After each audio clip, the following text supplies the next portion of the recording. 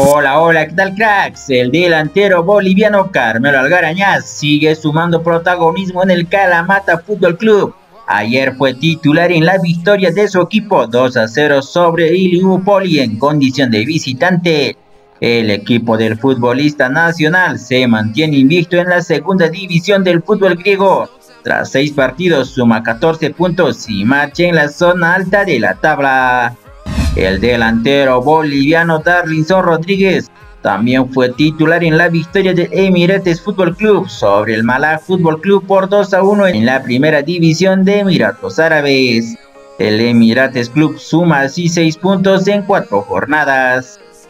Comienza el plan altura para Paraguay. Alex Cáceres de 28 años será convocado por Gustavo Alfaro para el combo de noviembre. El volante por fuera de Wisterman será citado pensando exclusivamente en el duelo que tendrá ante Bolivia en la altura. Se estima que podrían haber 4 a 5 convocados del fútbol boliviano.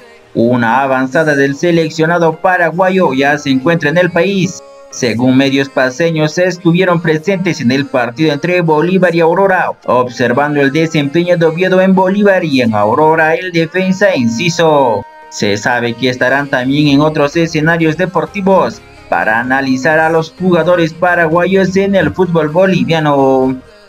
Tras la dura derrota de Guavira por 2 a 1 a manos de Independiente, Gualberto Mojica junto a su cuerpo técnico se habría reunido con los jugadores en su camerino de la caldera la noche de este domingo para despedirse.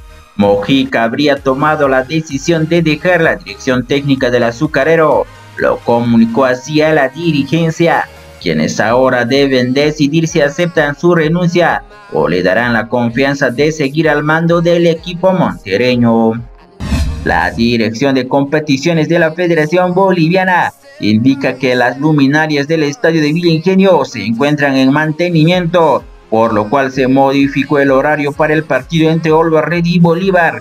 Estaba pactado para este miércoles 30 de octubre a las 8 de la noche el día se mantiene, pero la hora del partido será a las 4 de la tarde.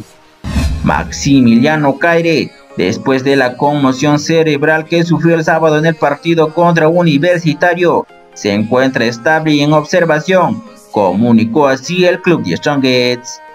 Wisterman igualó 2 a 2 ante Nacional Potosí en el Félix Capriles por la jornada 20 del torneo clausura. Carlos Preciado y William Álvarez anotaron para el cuadro potosino, mientras que Héctor Bobadilla y Santiago Echeverría sobre el minuto 96 marcaron para el aviador. Independiente Petrolero venció 2 a 1 a en el estadio Gilberto Parada este fin de semana.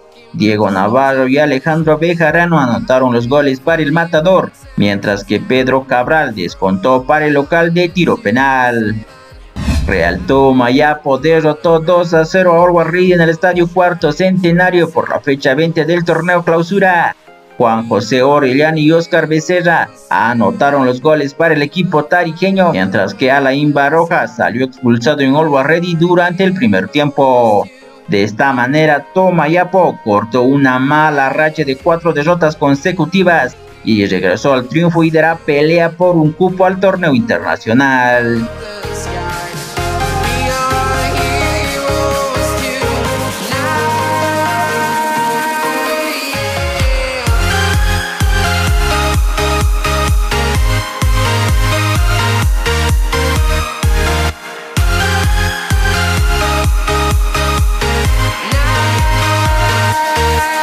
you.